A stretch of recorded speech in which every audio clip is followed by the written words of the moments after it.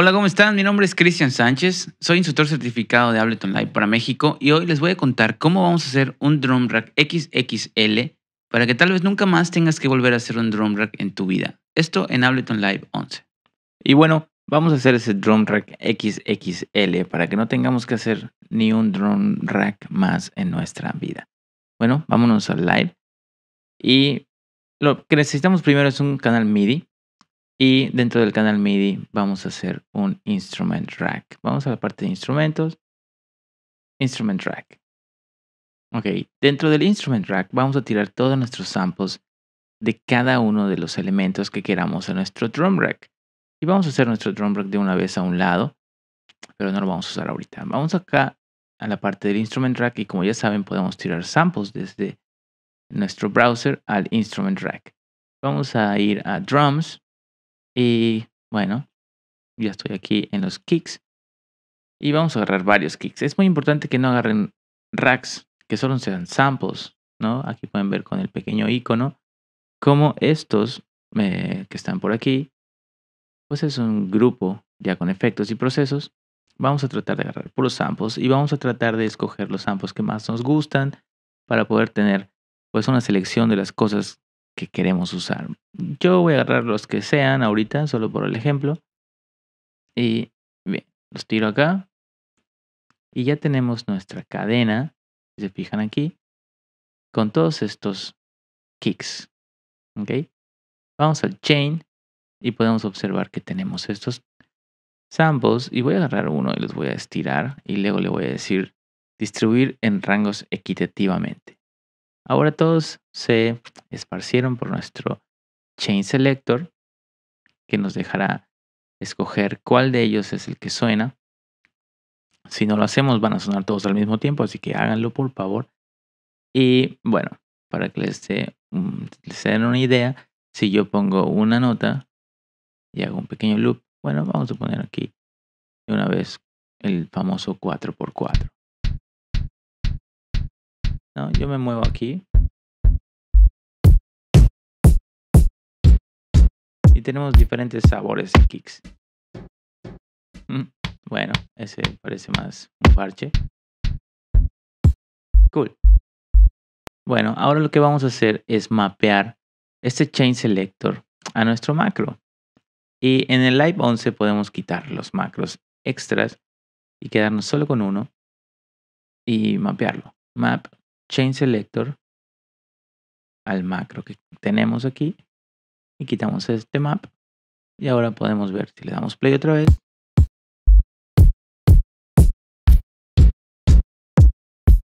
Que tenemos nuestros kicks ahí.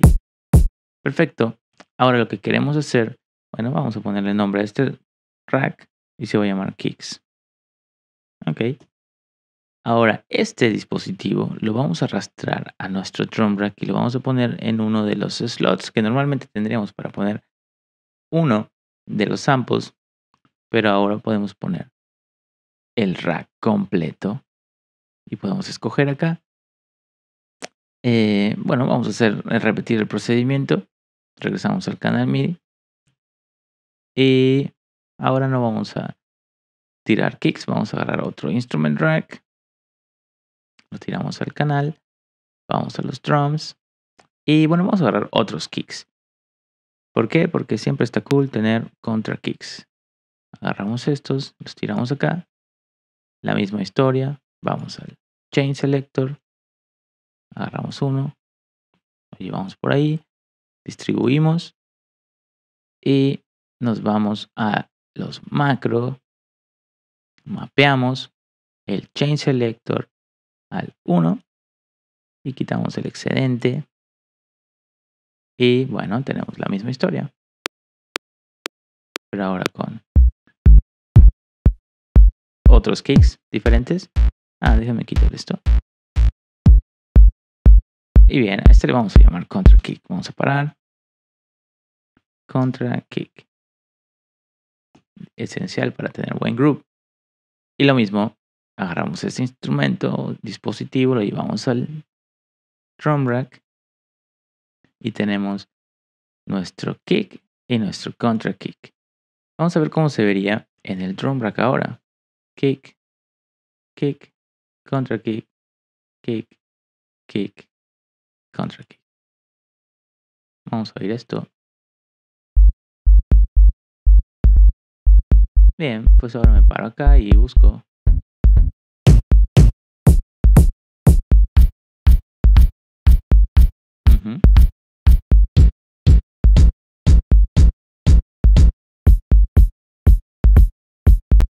Y bueno, ya tenemos acá nuestros kicks y nuestros contra kicks. Vamos a hacer rápidamente otro. Vamos a ir a Instrument Track, MIDI Track. Aquí tiramos los samples. Vamos a Drums. Y bueno, ahora no vamos a poner kicks, vamos a poner snares. Lo mismo, agarramos algunos snares. Vamos a poner estos y los tiramos. Ah, seguro agarré un rack. Y vamos a verificarlo. ¿Ven? Acá hay uno que es un rack.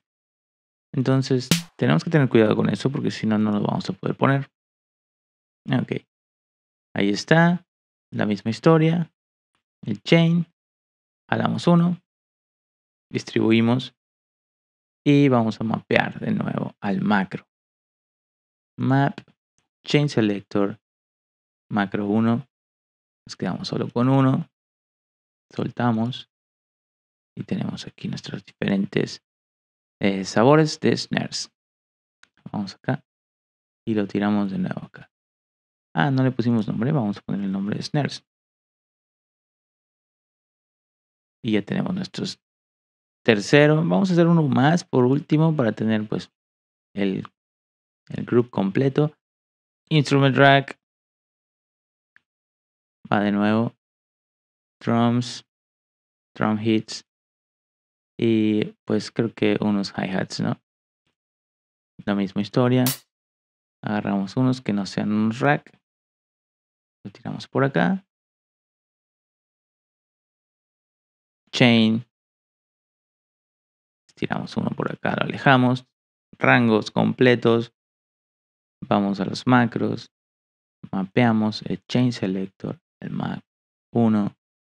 Nos quitamos el excedente y le ponemos hi-hats. Hi-hats. Y bueno, esos son cerrados, ¿no? Vamos a poner close hat.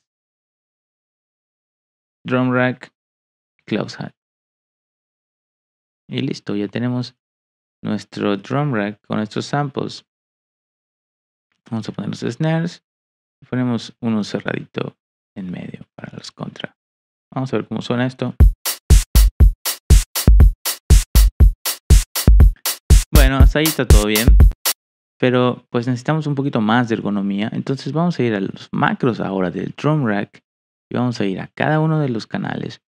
Y vamos a escoger este chain selector. Y lo vamos a mapear acá. Map. Chain selector al 1. Vamos al contra kick. Chain selector al 2. Snares. Chain selector al 3.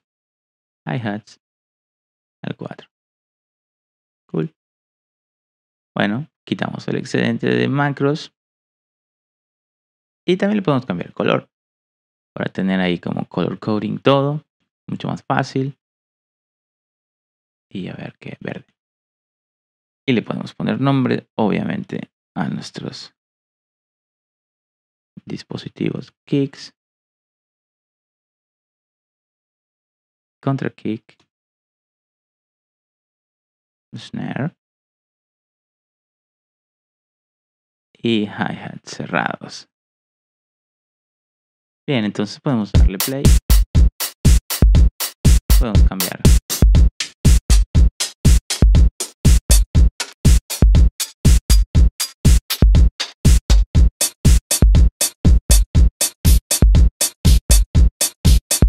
Bueno, y espero que les haya gustado. Esta es solo una manera de hacer procesos mucho, mucho más ágiles para producir más rápido. Obviamente el chiste de esto es que ustedes pongan los sonidos que les gustan y que ya saben que van a funcionar. Nos vemos pronto y espero que les haya gustado este tip.